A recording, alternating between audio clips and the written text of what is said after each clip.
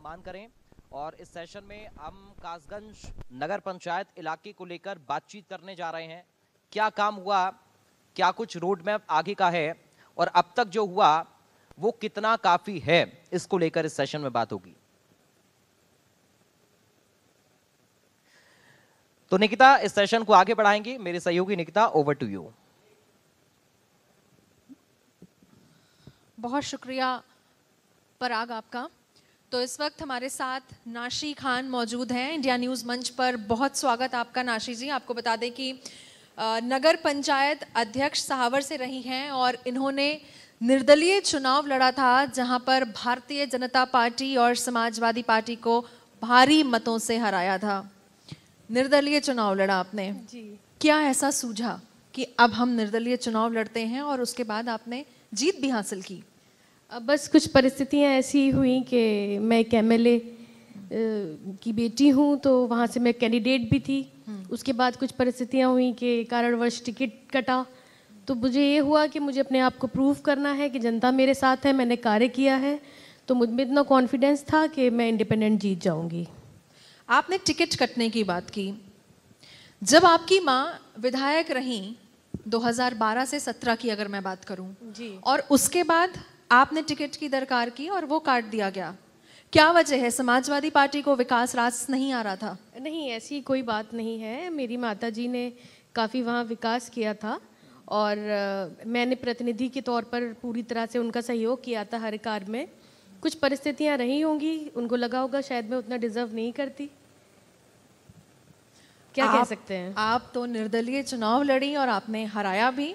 तो वही एक बात थी ना कि प्रूव करना था कि मैं हम्म। कर सकती हूँ। हम्म। क्योंकि विकास कार्य की अगर मैं बात करूँ तो हमने देखा कि उस दौरान रिकॉर्ड तोड़ विकास हुआ। उत्तर प्रदेश में सबसे लंबा ब्रिज की अगर हम बात करें कादरगंज पुल था। तो आप लोगों के सहयोग से साथ ही साथ सरकार के सहयोग से वो प्रोग्रेस हम्म, हुआ आगे बढ़ा और पुल बना। और साथ ही साथ अगर मैं कासगंज की समस्याओं पे फोकस करूँ तो क्राइम रेट बहुत था लेकिन आपकी माता जी के आने से क्राइम रेट भी डाउन हुआ और साथ ही विकास कार्य आगे बढ़ा था अगर मैं सही हूँ तो। जी जी बिल्कुल। एक बहुत बड़ी समस्या थी कि कासगंज और बदायूं कासगंज में जो हमारी पटियाली विधानसभा है मैं बताना चाहूँगी थोड़ा सा कि कासगंज हज़रत अमीर खुसरो साहब और संत तुलसीदास जी का क्षेत्र है। तो उनकी जन्मभूमि है ये। तो ज़ाहिर सी बात है कि हमको देखना था कि ज़्यादा से ज़्यादा यहाँ विकास हो और गंगा जमुना तहजीब दोनों मिली रहें और भाईचारा बना रहे क्राइम कंट्रोल हो तो विकास के लिए हमने सबसे पहले कादरगंज जो ब्रिज था, उसको बनवाया। वो उत्तर प्रदेश का सबसे लंबा ब्रिज था और वो एक बहुत बड़ा चैलेंज था हमारे लिए कि हम गंगा की जैसी कटरी के इलाके में हम उस ब्रिज को बनवाएँ। इससे काफ़ी सारा लाभ हुआ और मैनपुरी से बदायूं का रोड भी बना उसमें। तो पटियाली को बदायूं से जोड़ा गया उससे किसानों को, मज़दूरों को, व्यापारियों को, गंजनवाड़ा, पटियाली, वहाँ के आसपास के इलाके के जो भी शहर थे, उनको भी काफ़ी सारा फ़ायदा हुआ। क्राइम रेट की अगर मैं बात करूँ तो निकिता जी, आपने कहा तो जब हमने शुरुआत की थी पटियाली में तो वहाँ पर गंगा का इलाका है, गाँव है तो वहाँ पर एक बोर्ड लगा रहता था। और उस बोर्ड पे बाकायदा लिखा होता था कि चार बजे के बाद यहाँ जाना वर्जित है। तो जब मैं पहली बार गई तो मैंने देखा, ये बोर्ड क्यों लगा हुआ है? तो जब हम लोग जब मेरी माता जी विधायक बनी तो हमारे लिए वो एक बहुत बड़ा चैलेंज था कि वहाँ पर क्राइम कंट्रोल हो। और क्राइम शायद वहाँ पर इसलिए हो गया था क्योंकि वहाँ पर विकास नहीं था, सड़कें ही नहीं थी। जब हमने शुरुआत की तो हमें 10-10 12-12 किलोमीटर पैदल चलना पड़ता था। एक गाँव से दूसरी गाँव में जाने के लिए ट्रैक्टर तक से जाना एक बहुत मुश्किल काम हुआ करता था। तो हमने करीब साढ़े तीन सौ सड़कें बनवाई। और अगर हम विद्युत विभाग की बात करें तो लाइट के नाम पर, रोशनी के नाम पर वहाँ कुछ नहीं था। करीब 407 गाँव में हमने वहाँ पर विद्युतीकरण कराया था। छोटे बड़े हमने 19 पुल बनवाए थे। 19 छोटे और दो बड़े पुल बनवाए थे। करीब 21 पुल बनवाए थे। तो विकास की तो ये बात सही है कि हमने गंगा बहा दी थी। बिल्कुल। और क्योंकि अगर पटियाली की बात हो रही है तो सबसे पिछड़ा इलाका था। और जिस तरीके से आप भी बता रही हैं। तो 2012 से लेकर के 17 तक वहाँ पर ऐसे क्या कुछ कार्य हुए? अगर प्रोग्रेसिव कार्य की बात करूँ डेवलपमेंट और इंफ्रास्ट्रक्चर रिलेटेड बात की जाए तो क्या कुछ कार्य आपने और आपकी माता जी ने मिलकर किए वहाँ पर? एक तो यही था कि हमने सड़कें बनवाई हमने वहाँ पर विद्युतीकरण कराए हमने पुल बनवाए उसके अलावा हमने बिजली के सब स्टेशंस भी बनवाए। करीब चार सब स्टेशंस हमने बनवाए थे। और उसके अलावा हमने शिक्षा पर हमारा काफ़ी ज़्यादा ध्यान था, क्योंकि हमने, हमारी एक सोच थी कि हमारे यहाँ के बच्चों के हाथ में कट्टे तमंचे नहीं होने चाहिए, हमारे यहाँ के बच्चों के हाथ में कलम की ताकत होनी चाहिए। तो हमने वहाँ पर पॉलीटेक्निक, आईटीआई कॉलेज बनवाए। दुर्ग, बहुत ही बड़ा दुर्भाग्य है कि उसके बाद हम हमारी विधायकी चली गई और वो स्टार्ट नहीं हो पाए हैं। बिल्डिंग बनी खड़ी हुई है। और प्राइमरी एजुकेशन की अगर हम बात करें तो उस पर भी हमारा पूरा ध्यान था और हम खुद जाके स्कूलों में देखा करते थे कि टाइम से शिक्षक आ रहे हैं या नहीं आ रहे हैं, कार्य अच्छे से चल रहा है या नहीं चल रहा है। तो हमारी हर एक छोटी बड़ी चीज़ पर बहुत ही एक पैनी नज़र हुआ करती थी कि विधानसभा के अंदर सब कुछ अच्छे से चल रहा है या नहीं चल रहा है। ऐसे ही मैं उस टाइम पे यूपीआरएनएस की भी डायरेक्टर थी। तो सहकारिता में होता है कोऑपरेटिव का एक सेक्टर है यूपीआरएनएस तो उसके ज़रिए भी मेरा पूरा डिस्ट्रिक्ट पर ही ये थी कि हम अपने अगर हमको ईश्वर ने इस काबिल बनाया है तो हम अपने जनपद के लिए कुछ अलग करें कुछ अच्छा करें। तो उस वक्त में ये था कि जनपद कासगंज ख़त्म हो जाएगा नया जनपद बना था। तो ये था कि अगर यहाँ पर टाइमली डेवलपमेंट नहीं हुआ और बिल्डिंग स्ट्रक्चर नहीं बन पाए जैसे कि कलेक्ट्रेट होती है, पूरा आपका एक ऑफ़िस होते हैं, पूरा इंफ्रास्ट्रक्चर होता है कोर्ट होता है तो हाई कोर्ट से बाकायदा ये था कि अगर ये इतने टाइम तक नहीं बन पाता, ये कंस्ट्रक्शन नहीं होता तो ये ज़िला ख़त्म हो जाएगा। तो मैं यू पी में उस वक्त डायरेक्टर थी और मैंने पूरा कहते नहीं है कि सारे ऑफिसर से मिलकर रेवेन्यू डिपार्टमेंट से, जैसे तैसे करके इतना जल्दी जल्दी मैंने कंस्ट्रक्शन करवाया सहावर में एक तहसील बनवाई कासगंज में हमने कोर्ट बनवाया यूपी से और काफ़ी कार्य हमने कराए जिससे कि हमारा जनपद कासगंज पटियाली विधानसभा ये जो बहुत पिछड़ा हुआ इलाका है तो इसके लिए हम कुछ कर सकें अच्छा। आ, बिल्कुल क्योंकि अब फ़िलहाल आपको एक साल का वक्त हो चु हो चुका है। तो अभी आपने क्या क्या ऐसे काम कर लिए हैं और फ्यूचर प्लानिंग क्या रहेगी आपकी? जी बतौर नगर पंचायत अध्यक्ष भी मैं बहुत कुछ करना चाहती हूँ। अभी हालाँकि अफसोस की बात यह है कि हमें बजट नहीं मिला है। तो थोड़ा सा मैं परेशान हूँ उन चीज़ों को लेकर जो मैं करना चाहती हूँ। बहुत कुछ मेरे मन में है, बहुत कुछ क्रिएटिविटी मेरे दिमाग में चलती रहती है कि मुझे ये करना है, मुझे वो करना है। बट बजट ना होने की वजह से मैं थोड़ा परेशान हूँ। लेकिन जो चीज़ें हम कर सकते हैं, उस पर हमारा बहुत ज़्यादा फोकस है। जैसे कि पहले बहुत ज़्यादा गंदगी रहा करती थी। तो स्वच्छता पर मेरा पूरी तरह से ध्यान केंद्रित रहता है और मेरा यही प्रयास रहता है कि बहुत अच्छे से सहावर जो मैं जहाँ से नगर पंचायत अध्यक्ष हूँ, वो साफ़ रहे, स्वच्छ रहे और एक एक गली एक एक जगह को मैं खुद ध्यान से देखती भी हूँ, मैं जाती भी हूँ मोहल्लों में।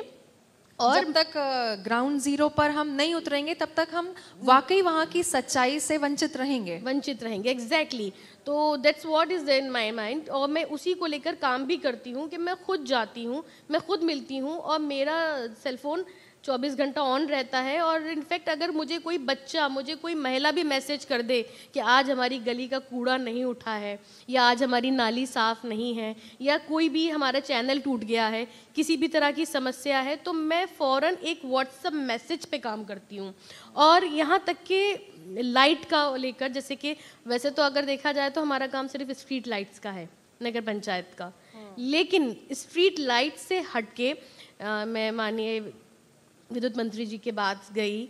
मैंने डिमांड की उससे और ईश्वर की कृपा से एक साल के अंदर हमारे सहावर के सारे तार बदल चुके हैं जो बिल्कुल जर्जर हो चुके थे और लाइट आती ही नहीं थी। बहुत ज़्यादा परेशानी हो जाती थी क्योंकि जब पुराने तार होंगे फिर उनको आप ठीक करवाओगे तो इट टेक्स टाइम तो उसमें ये होता था कि पता चला आई लाइट चली गई आई चली गई तो लोगों को बहुत प्रॉब्लम होती थी।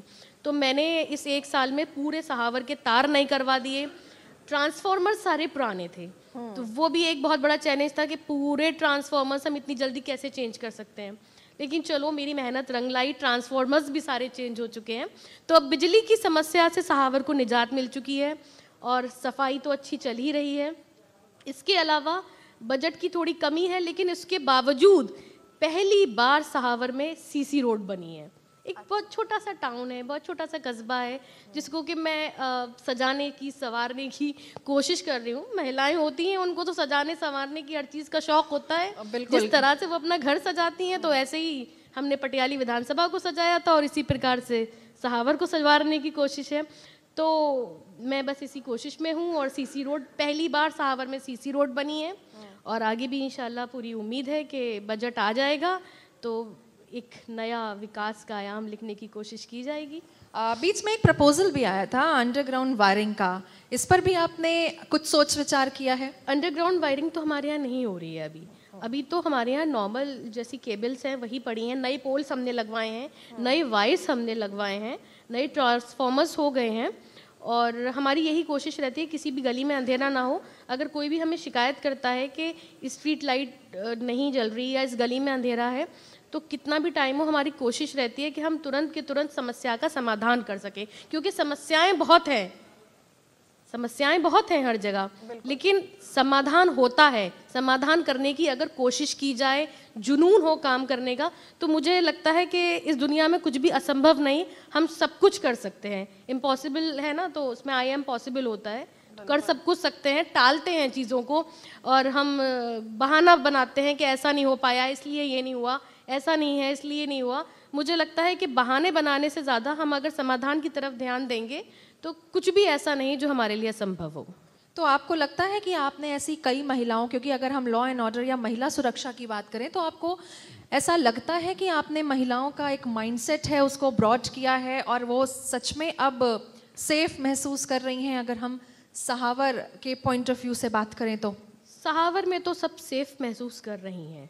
सहावर पे देखिए, मैं वैसे भी कंट्रोल रखती हूँ चीज़ों को और अगर हम महिला सुरक्षा की भी बात करें तो इत्तेफाक से हमारी एसडीएम भी महिला हैं, हमारी सीओ भी महिला हैं, मैं खुद भी महिला हूँ तो हम लोग बहुत फोकस रहते हैं अपने काम को लेकर। अगर कोई भी महिला हमारे दरवाजे पे आती है, इनफैक्ट अगर कोई मुझे कॉल करके भी अपनी प्रॉब्लम बताता है तो मेरी पूरी कोशिश रहती है कि मैं उसका सॉल्यूशन करूँ और किसी के साथ गलत नहीं होना चाहिए। न्याय मिलना चाहिए सबको। और अब तक मेरी यही कोशिश रही है कि मैं न्याय का साथ दूँ, क्योंकि मेरी माँ ने वो संस्कार दिए हैं कि बेटा कभी किसी के साथ गलत मत करना। अगर तुम्हारे साथ कोई गलत कर भी रहा है तो उसको ईश्वर के ऊपर छोड़ दो। अल्लाह उसको, ईश्वर उसको सज़ा देगा, हम उसको सज़ा नहीं देंगे। अगर हम ईश्वर के ऊपर छोड़ देते हैं तो वही उसको सज़ा देता है। हमारा काम है कि हम सबके लिए अच्छा करें। सामने वाला अगर गलत करता भी है तो उसको इग्नोर करें। और चीज़ें अपने आप ठीक हो जाएँगी। लेकिन अगर दूसरे के साथ मैं गलत होते देखती हूँ तो मैं इग्नोर नहीं कर पाती हूँ और मैं खड़ी हो जाती हूँ जो पीड़ित होता है उसके साथ और उसके लिए चाहे मुझे कुछ भी करना पड़े, मैं उसको न्याय दिला कर रहती हूँ। एक आखिरी सवाल मेरा आपसे ये है कि अब आपको भी लगता है कि क्राइम रेट कम हुआ है।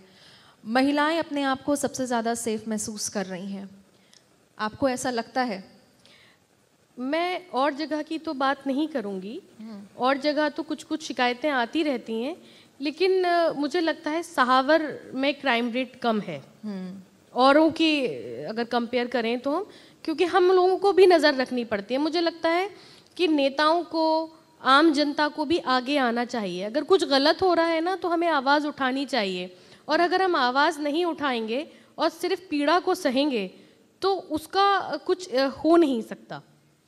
जैसे कि और अगर हम भाईचारे की बात करें तो मैं आपको बताऊँ कि हमारा जो सहावर है वो एक बिल्कुल सुख चैन नगरी है जिसमें कि हिंदू मुस्लिम जितनी भी जातियाँ हैं सब एक साथ मिलकर रहती हैं।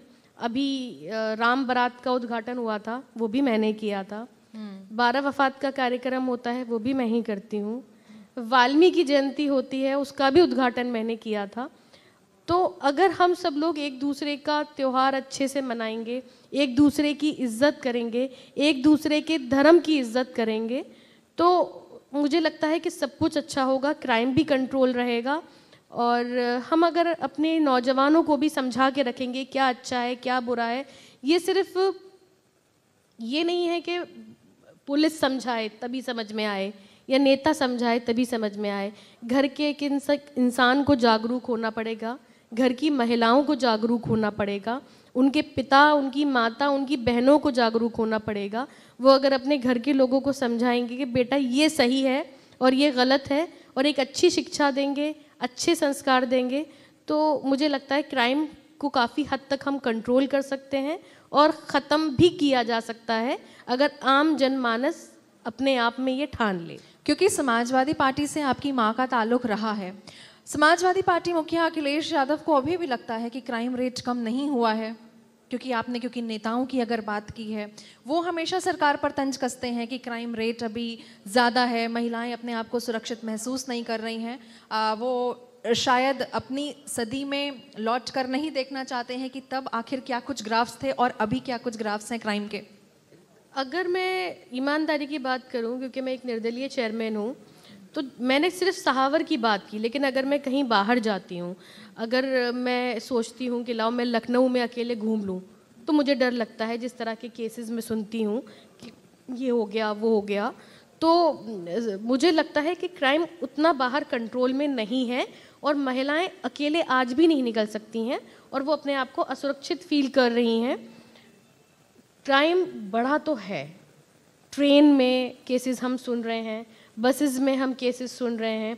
लड़कियाँ अगर अकेले निकल रही हैं तो हम इतने सारे केसेस सुन रहे हैं तो क्राइम कंट्रोल तो नहीं है पूरी जगह तो फिर आपको ब्रॉडर एंगल में सोचना पड़ेगा सहावर से थोड़ा सा बाहर निकल बाहर निकल के कंट्रोल में नहीं है। हम्म। बाहर निकल के ही तो कह रही हूँ कंट्रोल में नहीं है। If I am talking about my area तो it's under control but if I will talk about Lucknow if I am talking about Noida then I think कि हमें अभी बहुत कुछ अच्छा करने की कोशिश करनी होगी हम्म। क्योंकि इसमें कहीं ना कहीं मुझे लगता है नशे का योगदान है।